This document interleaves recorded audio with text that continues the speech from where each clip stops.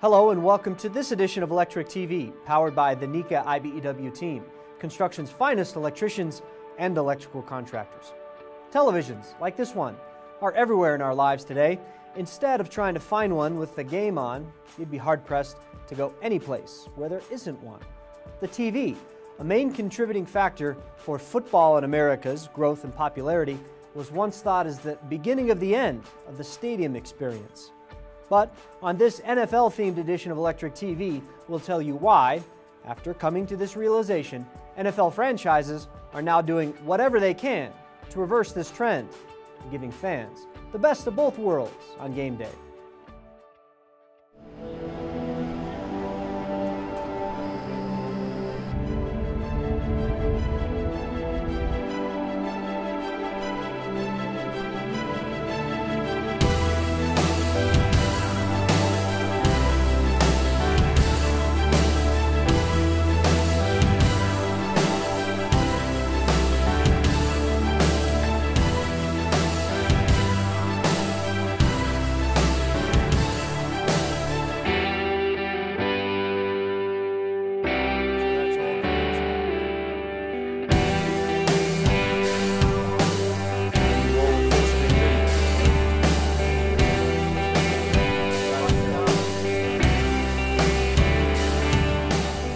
When the Jacksonville Jaguars invite thousands of guests into their home on game day, the preparations look like that of any other NFL franchise, except when it comes to their scoreboards.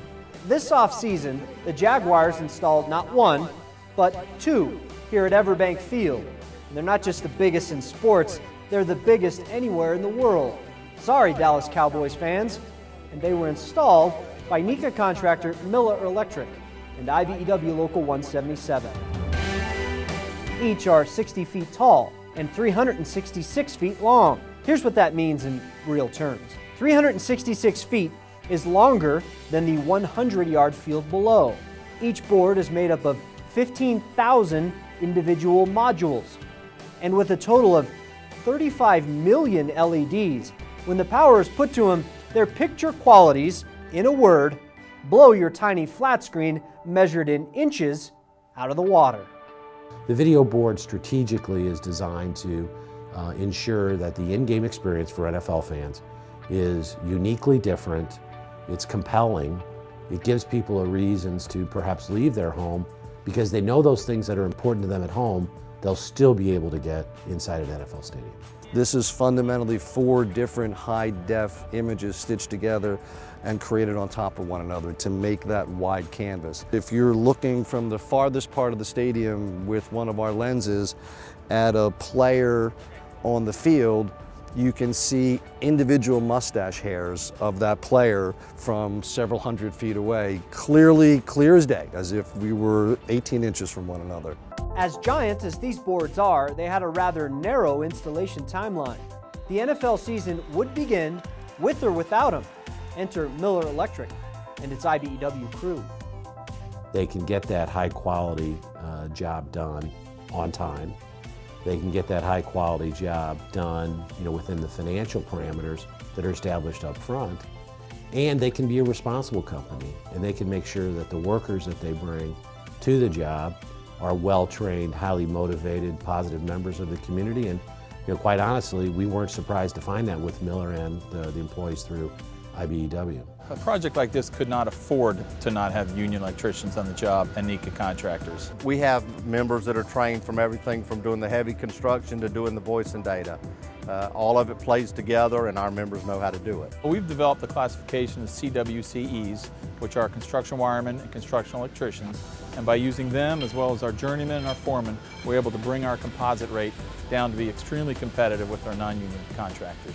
Once we uh, got the thrilling news that we were going to be a part of the team of doing it, we were, uh, had an internal meeting where we had our Senior Vice President of Construction Operations, we had our Vice President that heads up the stadiums, and then we had our project manager, John Powers. We had the superintendent, Clinton Snyder, and some other folks in the room to number one, to find out what the project consisted of far as labor-wise, what could we prefab before we came to the stadium, what things could we do methodically behind the scenes that would help make us successful. The job went well. Uh, we ended up with about 45 men. on the job. Uh, we had a short time frame to finish it in. Uh, the guys did a real good job of bringing it in on time. We have miles of cables in each individual uh, scoreboard.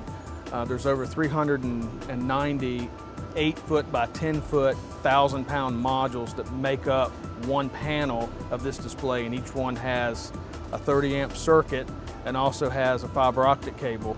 And those cables come back to a head end within each board and then has a home run of fiber optic that runs back to the control room.